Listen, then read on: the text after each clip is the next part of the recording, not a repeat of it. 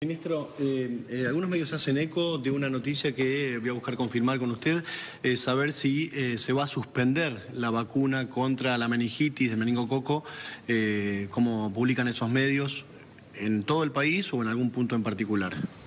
Que yo sepa.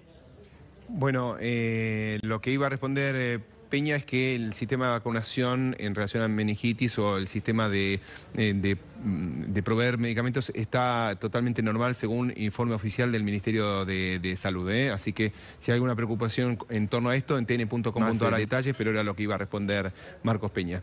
Eh, Adrián, estabas con la casa de Cristina Kirchner. Estábamos recorriendo la casa